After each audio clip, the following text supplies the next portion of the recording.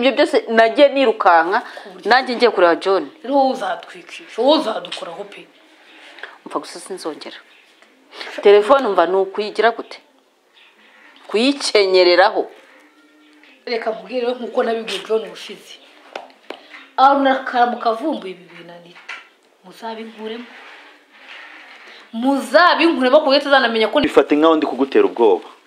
Bifate ko ari impuhwe nkugiriye pazo ubifate nk'aho ndi kwibuka byibuze ko wafashe utwo tuguru twawe ukajya kwa John ugiye kubeshya ndi ruzange nk'aho ndi kugushimira bifate nk'aho ndi kugushimira. Kubera ko ninongera ubonye ko uraza kugera mbisubiremo? Nyine ndabibona mbisubiremo? ariko niyo arega robert ngiye yarabirepese ati nzamuniga nzamugoronzora. Niyo mpamvu uranyemura n'ikingiranye mu cyumba. Reka nkubwire. Ngo eee ntabyo uzi. Arimo arategura abantu bamena urugi shapita na- nibashake barumena ariko nanjye. Nagusangamo.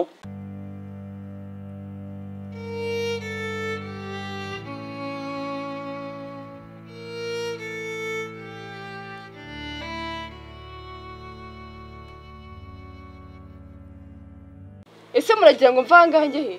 Nimva ahangaha amaherezo nyine ukongera nkajya ku muhanda. Wahagiye se. muzanahurira robert. Uzi ko waraba muri borodire hehe ubundi kugira ngo upfe waraba muri ku borodire muhanda ku muhanda muragira ijye kuba marine se ariko umuzi ko twaje guteka imitwe hano kwa robert. Ariko uzi ariko ko wa marine ari ubuzima kuri muzima. Uzi ko wa marine uri muzima.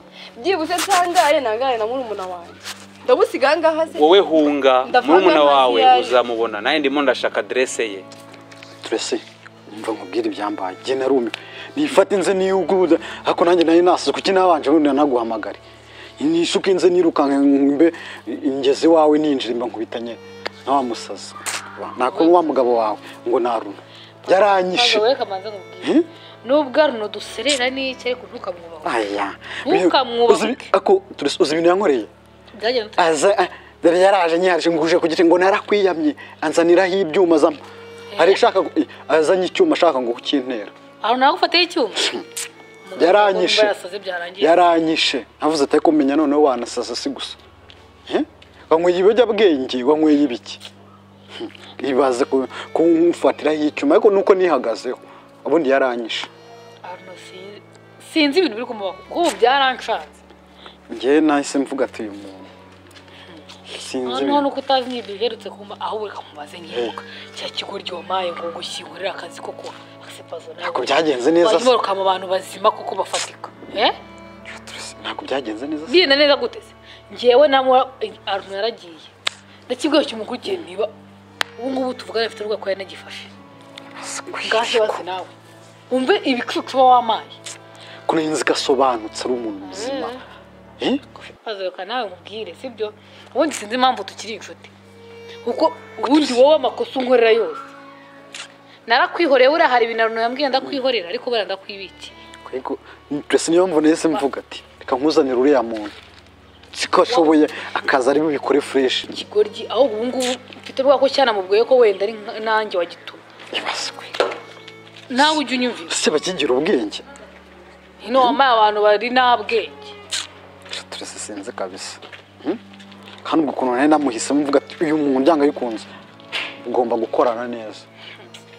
Shapazo noneho ubu ngubu mba mvuga ati "Ah, naramutse amenye uriya mwana ahantu ari akamenya ko nari mbizi byaba bindangiriyeho byaba bindangiriye. Byaba ari hatari.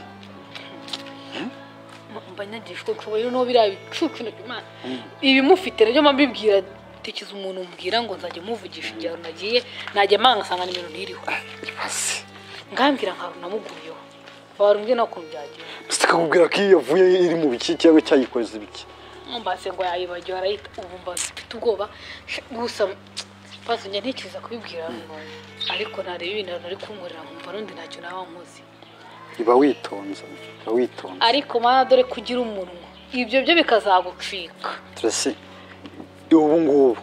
Reka reka. Ubu ngubu se nyobewe ko wari waragiye ukamubwira n'ibya ba simba ahubwo mukanashaka kunteka imitwe mu na munyamakara njye nari nzi ko Aruna ari umuntu muzima ariko nasanze atari umuntu muzima. kuri ahantu ngo aruzwe umuntu muzima. Ntabwo mva turese Aruna ukuntu usigaye mena mbona ameze muri ino minsi wagira ngo asigaye anywa n'itabi. Itabi ryoroheje. Aho yarabu yabaye undi muntu. Ariko n'uriya mwana uri kumusaza ni uriya mwana. Turese nanjye biracyancanga nawe jya usa wambwiye sibyo? Sawa sawa kabisa Mm. Anita. We ariko se uri muzima cyangwa warasaze kubera Anita. Ndakumva ni gute wifata ukagenda ugakinga igipangu nkaza nkava gushaka abantu bagomba kwica bakamvanamo ako karaya nkakica ni gu- ni gute ukinga ukagenda u- utanambwiye aho ugiye ariko uzi ko nabikoreye wowe? Wabikoreye jyewe unkorera iki? Uratekereza ura- ura- ndi umwana wawe utekereza? Wanze kubyara genda umwana wawe. Tuza shyira umutima hamwe. Ko ufite umujinya mwinshi wakora wakora n'ibidakorwa. Eh? kandi Anita mba mbona hari ufite undi mugabo utari jyewe roba reka nkubwire. Eh, claire ndabona ahangaha ushaka kuhagera eh, intambara. Urashaka kwica claire? Ibyo sinzatuma biba. Sinzatuma biba- bibera muri uru rugo. Kirere ntihatuye agomba gupfa nta kintu igihano akwiriye ibyo yankoreye biramwicisha nta kindi.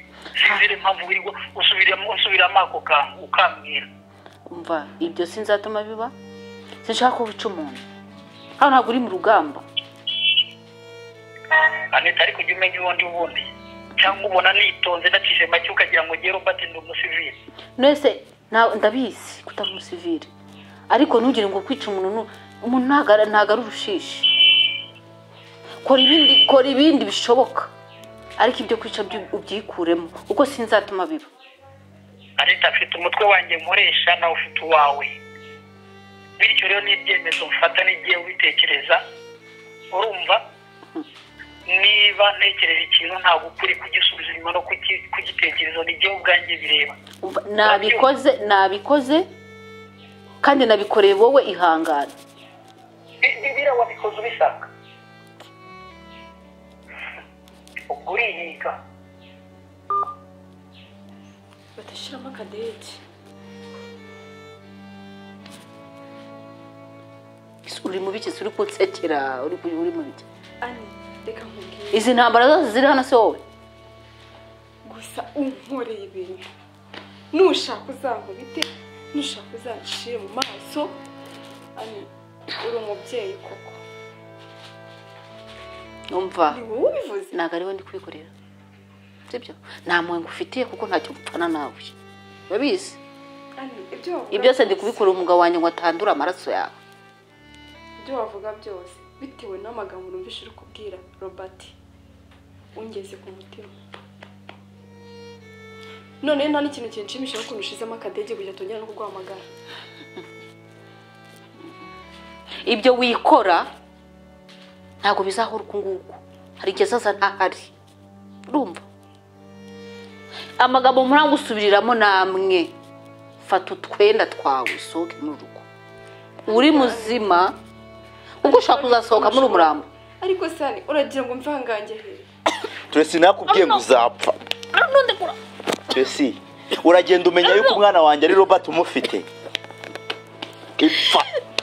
Ariko byose ni we wabiteye john ajyana umwana wanjye nta n'icyo ababizi urabimenya urabiceceka turesi urapfa turesi urapfa. Ipfa. Ariko byose ni we wabiteye reka inzozi mbi we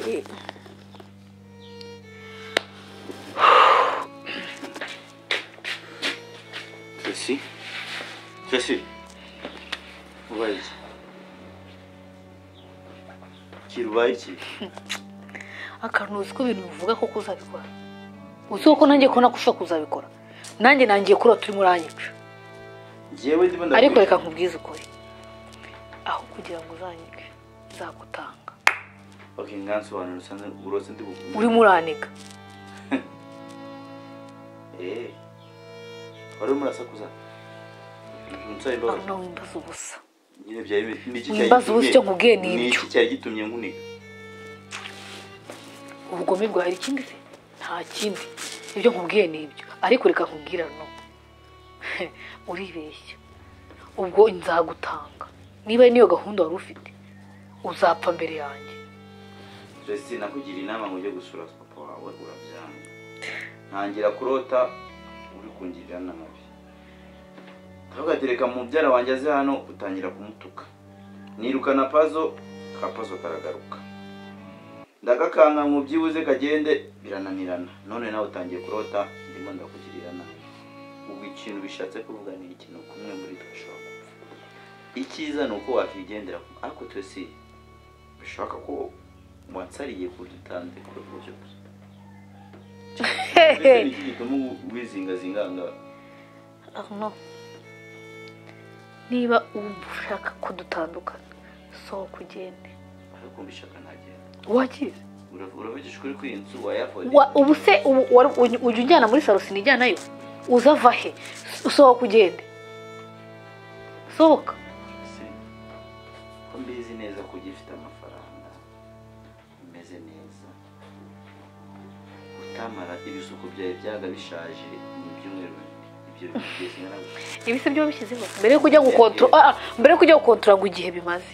Sibyo nyine nsubiza byonyine si uri kujya gukorera amafaranga. Ngo nkorera amafaranga ngo iki ari rero ndora mu kenda kawe ibi bisuko Aka. byonyine ibisuko nasukishije byakugura amashati angahe? Ndashaka kuzakujyana mubwire utu dushati. Aka gashati ni wowe wakanguriye kandi anyway thank you.